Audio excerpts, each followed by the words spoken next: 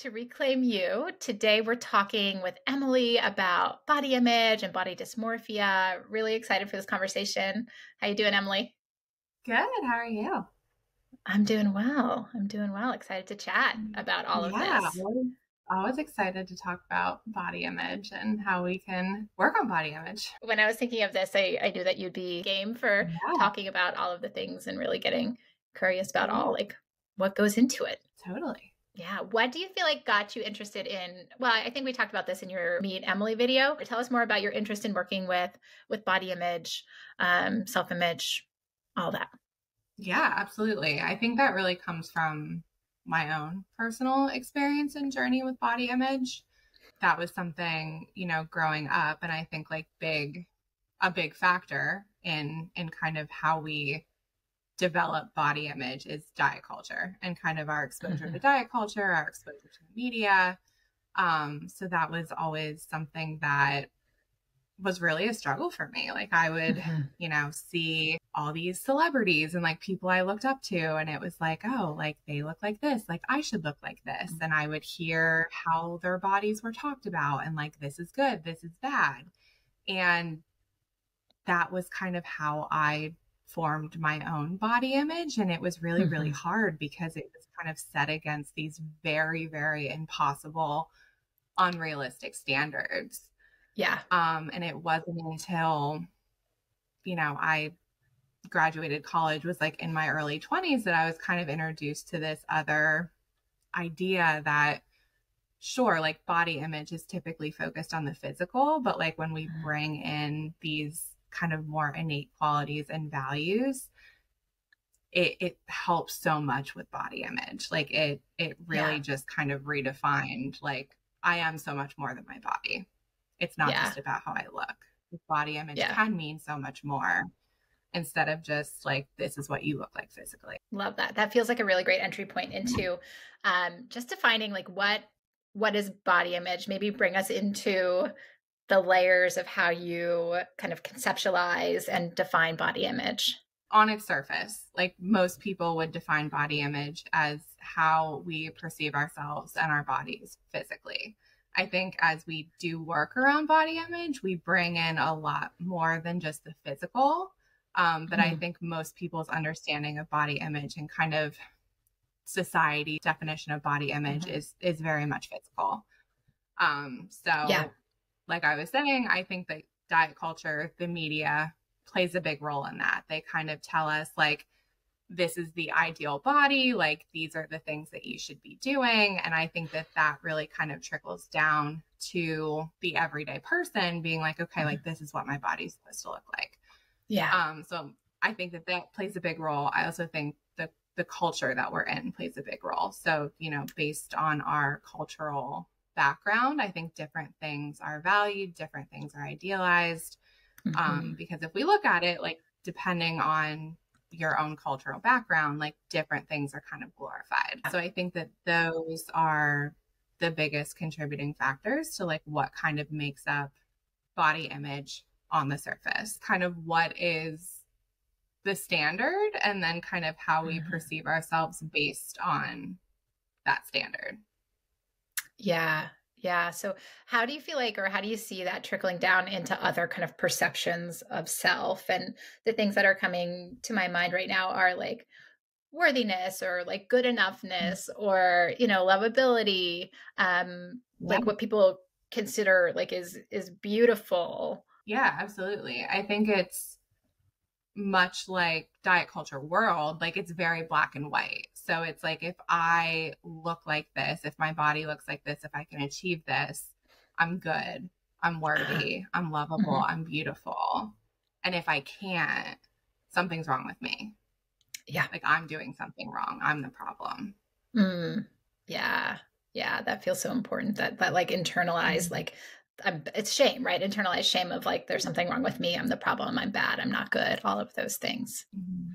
When in reality, it's just these really, really impossible standards that were held up against that really no one even looks like. Yeah. So on the other side of this so there's there's body image right and struggles with body image i know in in our practice a lot of folks that are you know working with the therapists on our team are are working on things around body image and i think underneath of that is also you know body dysmorphia Mm-hmm. So I'm curious if you can talk some about body dysmorphia, about you know what what is body dysmorphia. Um, it is like a, a formal diagnosis, um, mm-hmm. and what are some of the ways that it it shows up for people if someone's wondering like do i struggle with body dysmorphia like what are some symptoms that they might experience around that so i think and and i've heard a lot body image struggles and body dysmorphia kind of used interchangeably but they're uh, they're definitely very different yeah. Um, so body dysmorphia, like you were saying, it is a formal diagnosis. So you can be diagnosed by like a doctor, a therapist, a, a psychologist, psychiatrist. But it, it kind of falls more on almost like the obsessive end of things. Mm-hmm. So normally people with body dysmorphia are very, very preoccupied with what they look mm-hmm. like. And that mm-hmm. can look like spending hours, you know, focused on their appearance, what they're wearing. A lot of times there's a fixation on a body part. So it's like, mm-hmm.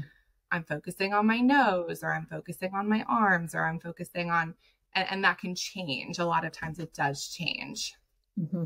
Um, but but I think one of the the keys there is how pervasive that is in their mm-hmm. in their daily life. Like it, it really takes up a lot of time.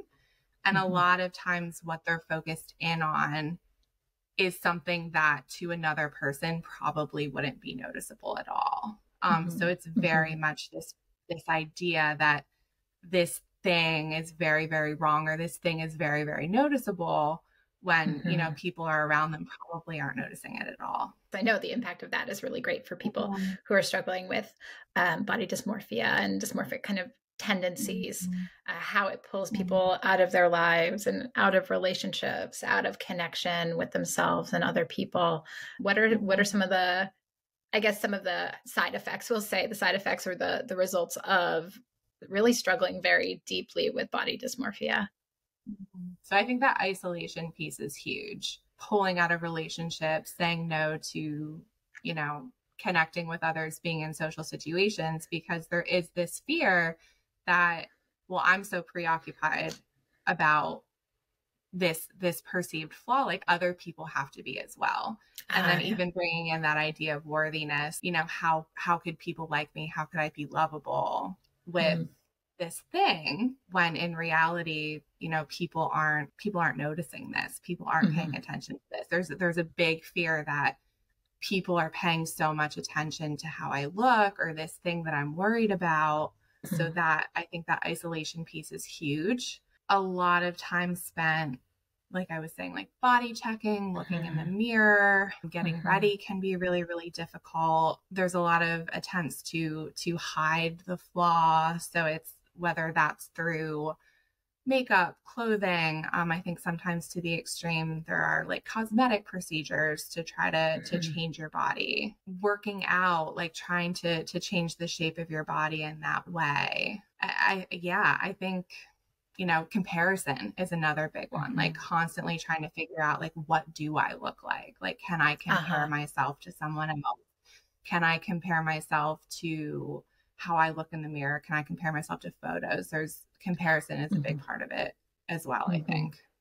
Yeah, even comparing, right, like a previous version of yourself to the current version of yourself mm-hmm. and getting kind of stuck mm-hmm. in that loop of of looking and longing and what can I do to get back mm-hmm. there or to change that or this is how I really look and which can lead to more body checking and just the cycle goes and yeah. goes and goes and goes obviously people who struggle with body image can struggle with maybe dysmorphic tendencies but someone who's mm-hmm. really you know struggling with body dysmorphia all of those things that you shared will probably maybe show up in different ways of course everyone's different um, but the mm-hmm. preoccupation and the body checking and the social isolation and just like the anxiety it feels like the anxiety and the depression that can kind of come alongside of it feel so mm-hmm. big and i think that's that's the big difference there. Like, yes, people who struggle with body image can definitely have these tendencies, but I think the the big difference there is just the intensity of mm-hmm. how it's felt and and the time spent yeah.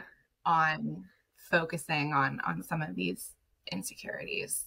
Mm-hmm. Um, it's mm-hmm. not just, you know, I had a fleeting thought or I, I had a bad day, I had a bad moment. Like it's it's very all consuming to the point that some people it's it's hard to even leave their home. Absolutely. And I, you know, what you said earlier about, you know, folks when you're you're out and about, the people that you're with are, are likely not noticing whatever it is that you're that you're focusing on. And it feels important to just kind of name that, you know, that doesn't mean that you're like wrong or you know there's something wrong with you for thinking that mm-hmm. other people are going to notice this and all that comes along with that i think what it does is it points to just like the pain and the suffering yeah. and the insecurity and that like there are needs there sure mm-hmm. maybe we don't know what they are in the here and now but there are needs there that like this part of you this body dysmorphic part is like trying to meet and trying to protect you from or shield you from absolutely yeah it's it's definitely and that's one of the things that I think is so hurtful. Like a lot of times people do brush it off. It's like, oh, well, it's in your head, or like it's a vanity like, issue. Get over it. Uh-huh. Yeah, and it's not. Like it's very real, and it's it's mm-hmm. very it's so hard to go through. And I think you're right. I think it is that need, and tying it back to this idea of like body image and worthiness and lovability. Like a lot of times it is I, I think that fear of like, if people are noticing this, hmm. what are they going to think about me? Right. Right. Am I lovable? Am I worthy? Mm-hmm. Like, am I safe to operate or function yeah. in the world just as yeah. I am? And for a lot right. of people, it doesn't feel that way. Mm-hmm. Right. And if, if people notice this, what does that mean for me? Mm-hmm. Mm-hmm. Yeah, that feels so important to validate that. Like, no, yeah. it's not wrong or bad. Like it makes sense. Mm-hmm. It makes a lot of sense. Yeah. Yeah, absolutely. So then it, with body dysmorphia and even just general body image struggles, the clashing of eating disorders and disordered eating, let's kind of go mm-hmm. there. That's a big yeah. one, but let's go there as best no, we can. It is. it is. Absolutely. Two big things stand out to me there about how these things intersect. So I think control is a big piece here. And I, I think more on like the body dysmorphia side, it's it's a way to change your body. Mm. Um, so it's it's this idea of I don't like this, you know, I'm fixated on this. I, I'm afraid that people are going to think poorly of me because of whatever it is about my body. Like, what can I do to change my body?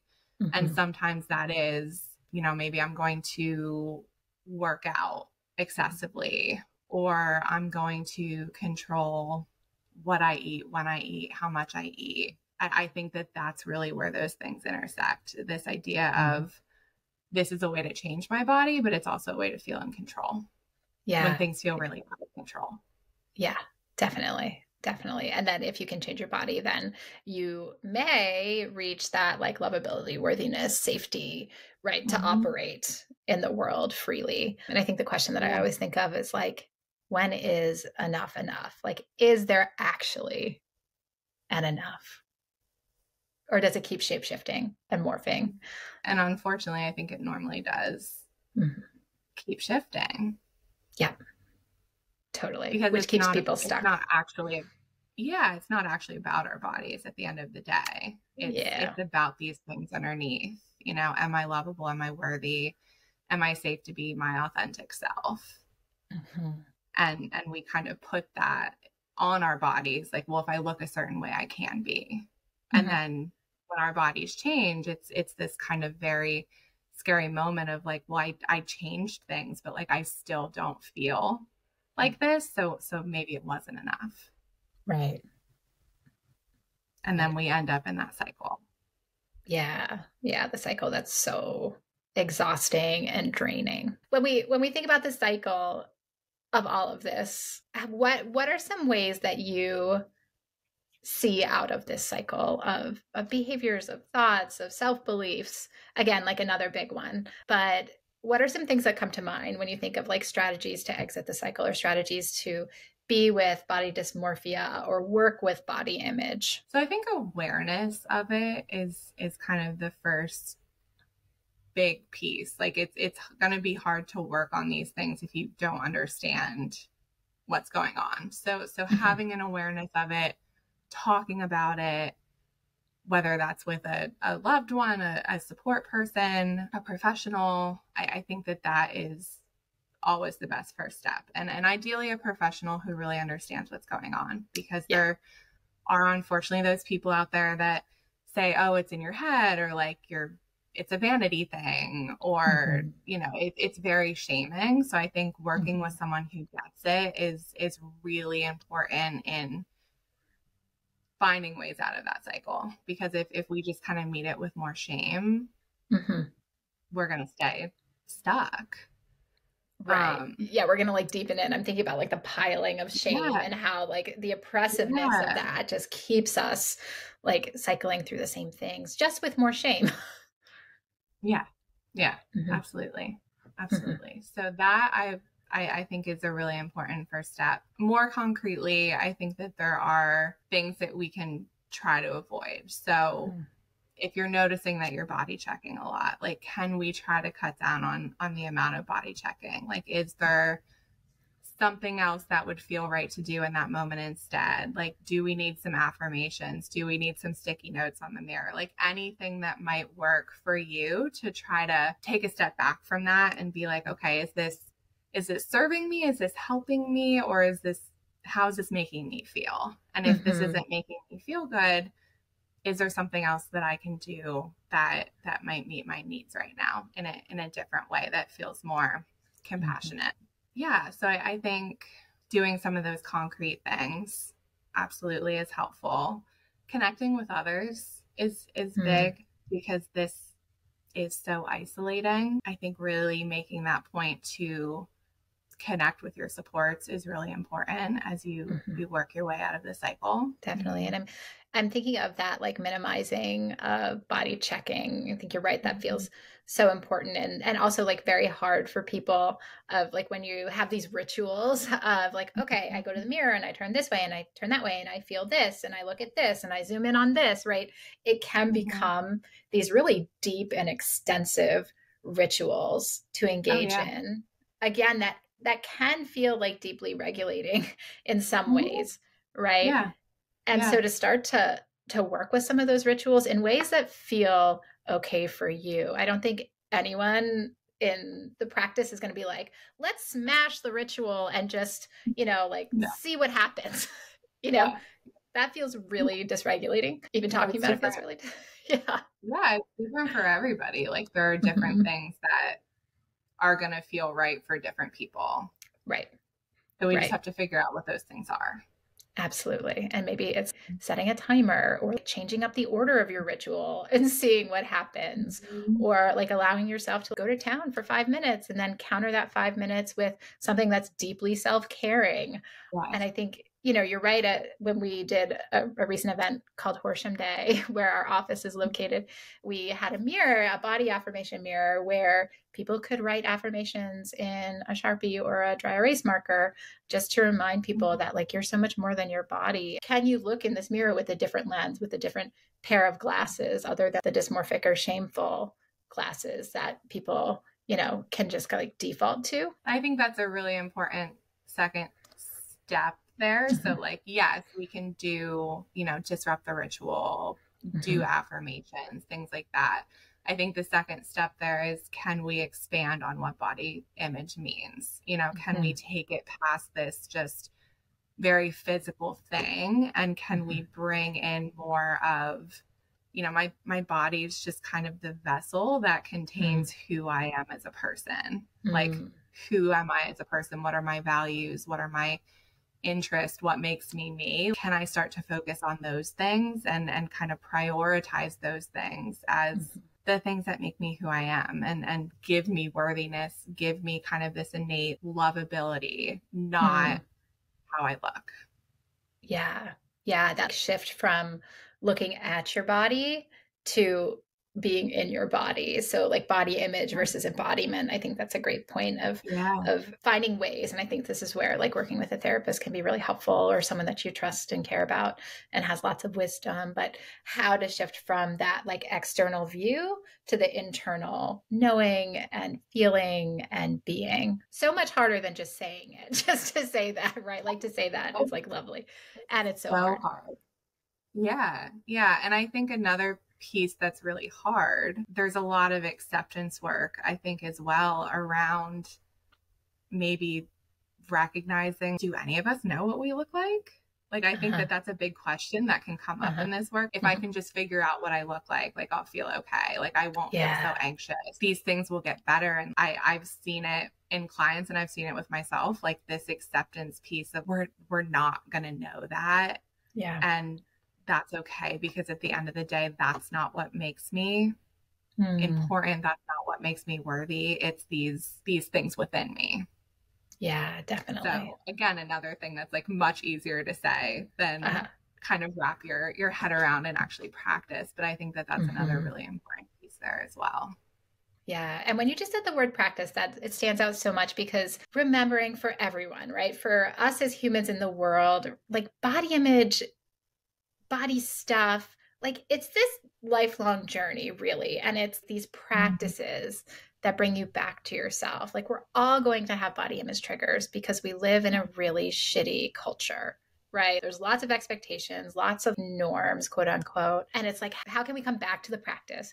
How can we come mm-hmm. back to embodiment? How can we accept that? Even accepting that you don't like your body, to accept that and not deepen into shame because you think you should like your body, right? That can be so altering for your experience in the world.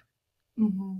Absolutely. And I, mm-hmm. I always like to stress that with clients because I think it can it can be such a frustrating point to get stuck at because you know we hear all these things about like body positivity. And it's like, mm-hmm. I have to love my body all the time. Mm-hmm. And I think mm-hmm. a lot of times clients, and like I've been there as well, you get so frustrated because it's like, I'm doing this work, but like I'm still having these thoughts. Mm-hmm. I don't like how this looks. I don't like how that looks. And it, it's very mm-hmm. much, well, I'm not making progress. And I always like to point out you know, what you just said. Like in the world that we live in, we're going to have triggers. We're going to mm-hmm. have days where we don't feel great about the way that we look. It's it's learning how can we respond to that like how can yeah. we respond to that in in a more compassionate way instead of in a way like you were saying i feel shame i have to change something something's wrong with me i should be somewhat it, different in not. this journey like yeah. are, right right like those thoughts are very normal mm-hmm. so yeah I, I, love that you pointed that out because I, I think that that is something that you know we don't acknowledge enough that just because you have a thought like that, it doesn't mean that you're not making progress and then mm-hmm. working on body image. Definitely. Are there any other tips or concrete tools that you have off the top of your head that could be supportive for someone who's, you know, tuning in or watching and thinking, ah, this is interesting. Maybe I could try a little something. And of course, we're not your therapist, right? Like, talk yeah. to your therapist. And like, yeah. there are some little yeah. tips and tools that you can take with you, maybe.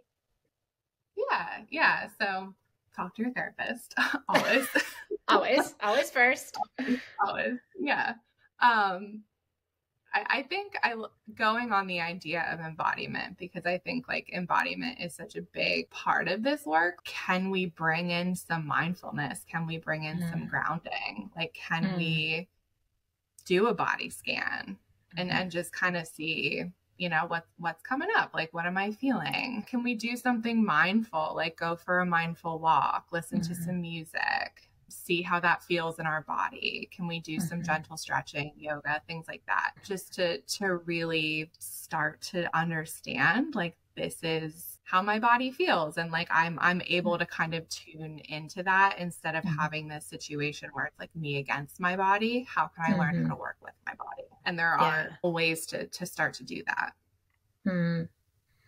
yeah and when you said that i thought of a poet and I'd have to look up the exact quote that they said because I can't totally remember it, but it was something along the lines of Can you look in the mirror and gaze back at yourself and can that like just be enough i don't know why that popped into my head as you were saying that yeah. um, i'm gonna have to look that up and put it in the show notes but it yeah. feels important to be able to like gaze back at yourself with acknowledgement and what it feels like to be on the other side of mm-hmm. that mm-hmm. tapping into mm-hmm. all all that swirling inside or maybe it's not swirling i don't know everyone's different but that just kind yeah. of popped into my my head when you were when you were sharing that i think sometimes yeah. like the term embodiment work like it sounds intimidating sometimes mm-hmm. and like it is like there's a lot of work there but i think sometimes acknowledging like yes embodiment work is very very important when working with body image, body dysmorphia. But there are these ways to kind of get started with that, to kind yeah. of tune in more, whether that is, you know, through something mindful, something grounding. So I, I, always kind of recommend that as well. Like, what's something mm-hmm. easy to just start to get you yeah. in touch with your body? Yeah, like a tiptoe in. You don't have to stay there, right? You don't have to stay there. Yeah. But maybe this like bid yeah. for relationship can be enough. And something, you know, make it enjoyable, make it as not intimidating as possible. So if that's like, I just want to kind of sit you know do a do a short meditation mm-hmm. or i want to like listen to music and like dance and like move my body in that way and see how it feels or mm-hmm. i want to go for a walk and focus on what i can hear like something like that that that mm-hmm. just mm-hmm. feels safe comforting but at the same mm-hmm. time is still getting us connected and I, I think my favorite kind of concrete tool if if it works for you is affirmations um mm-hmm. just just being able to kind of recenter, re reground mm-hmm. in that way of just having an affirmation that feels good and put it up if you need to you know if mm-hmm. that if that feels helpful if there's a mirror that you you tend to body check in or an area or something like that like put your affirmations up to mm-hmm. really remind yourself i'm more than this. I'm more than just my body. Yeah. And if you're in need of some affirmations, shameless plug, we do a reel once per week of of body affirmations where, you know, everyone in every therapist in the practice shares a body affirmation that, like I said, we post once per week. So so head over to Instagram and check that out. There's a what's it called? A highlight in the Instagram profile with all of the body affirmation reels that we've done so far. So there's some really like just nice places to start if you're interested yeah. in getting curious about body affirmations and what lands and what doesn't land. Well, thank oh. you so much, Emily. These are there's a really helpful tools and little tips and food for thought i think for for anyone who's on this journey of body image work which i think is most people yeah so thank you yeah of course it was it was great chatting Okay, everybody, we will be back next week with another episode with Casey. And if you're looking for body image support, eating disorder support, or, or, trauma treatment, head over to our website at www.reclaimtherapy.org. Check us out and let us know if you have any questions. See you later.